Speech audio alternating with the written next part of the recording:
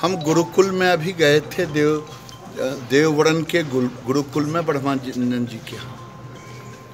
आज तक वहाँ से कोई बच्चा आतंकवादी नहीं निकला।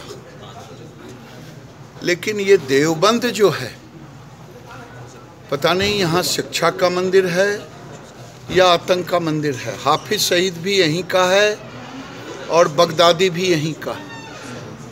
तो यहाँ लोगों को मानवता के कल्याण के लिए शिक्षा दी जाती है या मानव के संहार के लिए शिक्षा दी जाती है, क्योंकि बगदादी आज मानव का संहार कर रहा है और हाफिज सईद छब्बीस ग्यारह भारत में वही किया।